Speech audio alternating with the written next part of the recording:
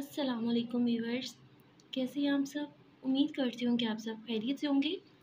आज जो मैं आपके साथ अपनी रेसिपी शेयर कर रही हूँ, वो है चॉकलेट केक दो कप मैदा लेंगे, आधा कप कोको पाउडर एक चम्मच बेकिंग पाउडर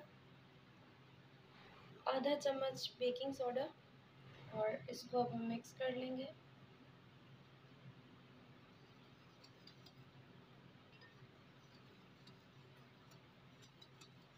इसको हमने अच्छे से मिक्स कर लिया। ये एक और बॉल और इसमें मैं डाल दूँगी दो अंडे। और आधा कप चीनी। इसको अच्छे से मिक्स करूँगी।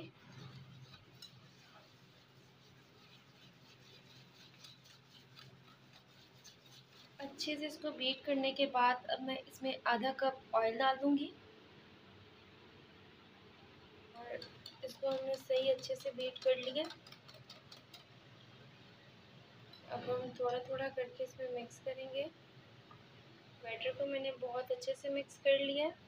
ये एक मोल और इसको मैंने ऑयल से ग्रीस करके बटर पेपर लगा दिया एक पैन लेके उसमें स्टैंड रख दिए और इसको अब हम 10 मिनट के लिए प्री हीट करेंगे मोल।